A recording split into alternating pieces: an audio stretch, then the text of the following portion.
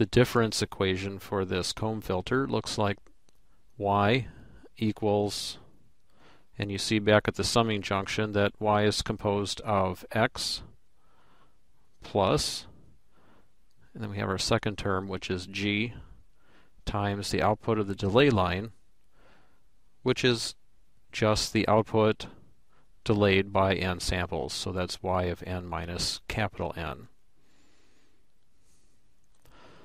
Now let's turn this difference equation into a LabVIEW VI. I'll begin from scratch with a blank VI.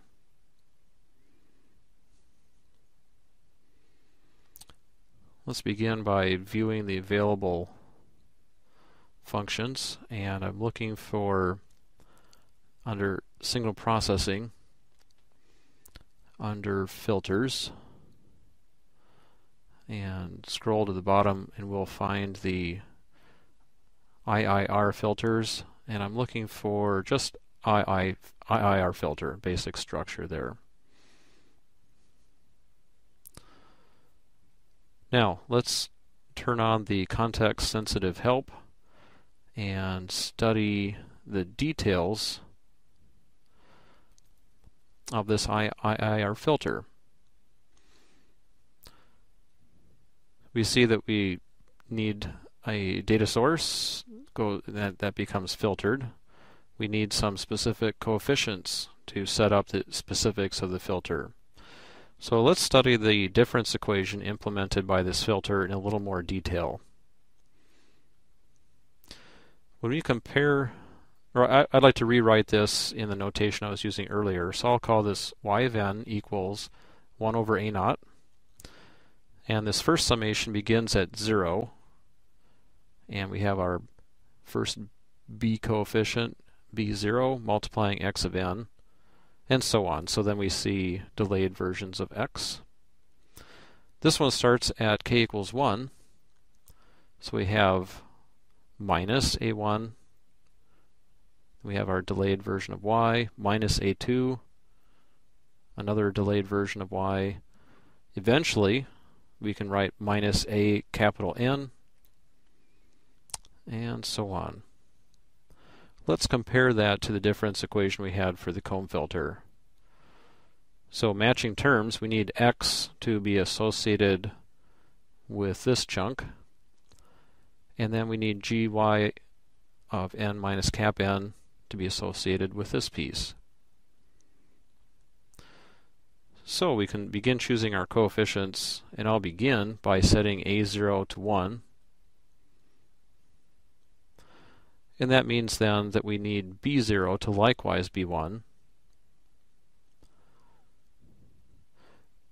And we need a sub cap n to be minus g. And then all the other coefficients are 0. So next we need to create some arrays for the a coefficients and the b coefficients that we can feed to the IIR filter. And I'll choose a MathScript node for this purpose.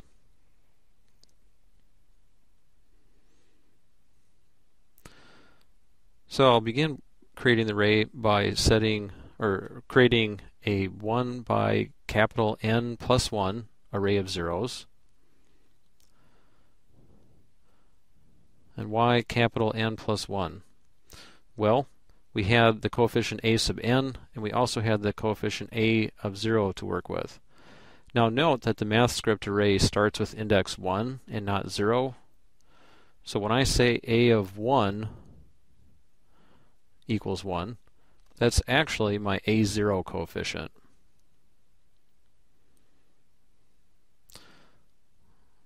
So if I say A of cap n plus 1 equals minus g,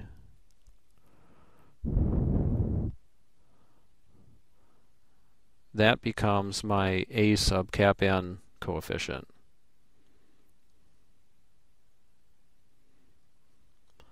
And let's try to make everything appear on one line. And last of all, we need to create an array of b coefficients and I'll set my b0 coefficient to 1 and of course everything else ends up being 0. So I use the square brackets to say that I'm actually creating an array element.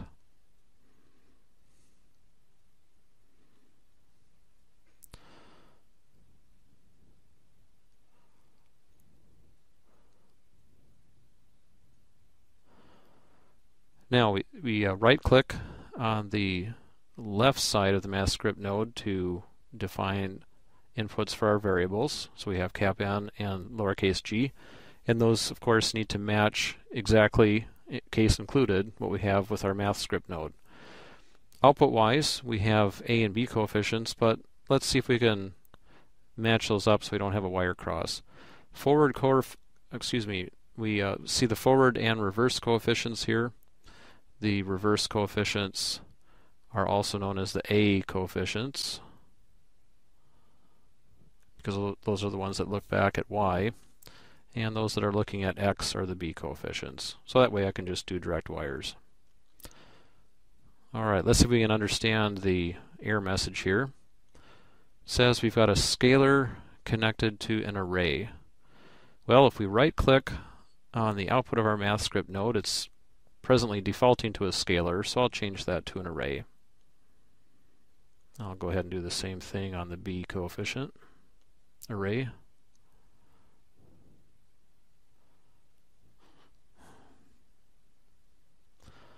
Now I'll do a right click and say create a control and I'll do these or do that for each of my inputs to the MathScript node.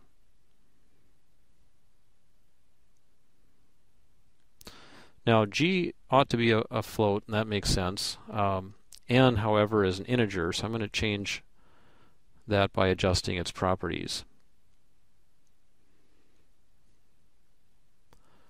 So we actually need to look at data range, and over here I can select, and I'll pick an unsigned 32-bit integer since n shouldn't be less than 0.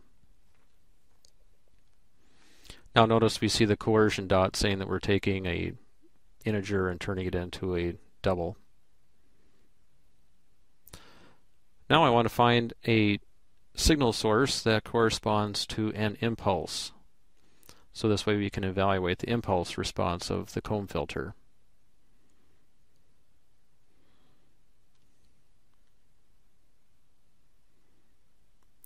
Now let's switch to the front panel and I'll go ahead and do a quick alignment of our two controls so far.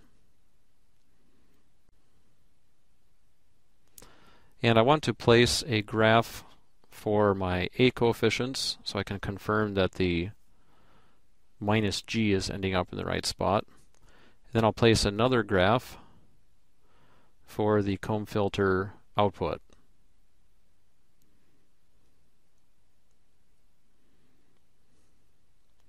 If I double click and adjust the name, that'll make it easier to find when I go back to the block diagram.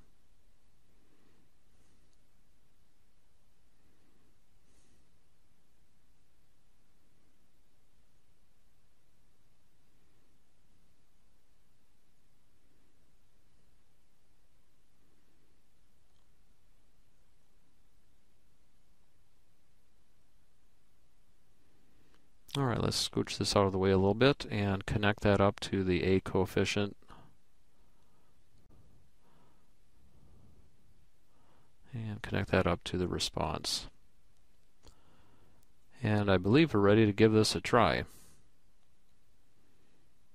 So Control E is the shortcut for switching back and forth between front panel and the array, or excuse me, the uh, block diagram. Now when I click Run, uh, nothing startling seems to happen, but notice that the n value is presently set to 0. So let's make our delay a little bit longer. Now we see that the gain coefficient is 0, so we essentially have our first direct path, but nothing after that. Now gain actually needs to be 1 or some fraction less than 1. I'm going to change this to a dial control, and that will give us more flexibility in establishing that as a fractional value. Under properties is where I can set the range of the dial as being 0 to 1. Alright, so let's try adjusting the dial to something other than just an integer.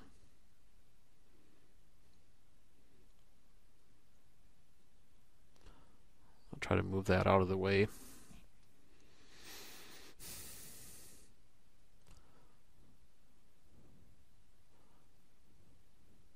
Now the way we have this set up right now is I adjust the dial and then I click run and then it executes the block diagram one time. Now this should give us a more rapid decay because every impulse is being multiplied by a smaller gain factor.